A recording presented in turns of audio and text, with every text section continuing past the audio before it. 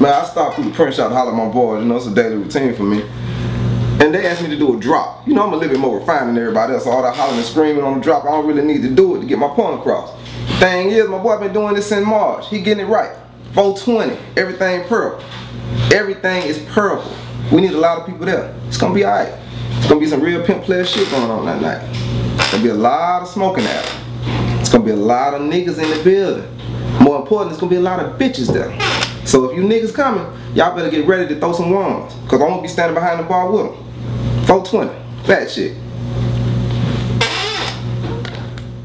Oh yeah, by the way, man, just in case the night don't end up like it's supposed to end up, if you don't end up with no bras, if you don't end up somewhere partying, and it end up on the other side of the law, holla at your boy.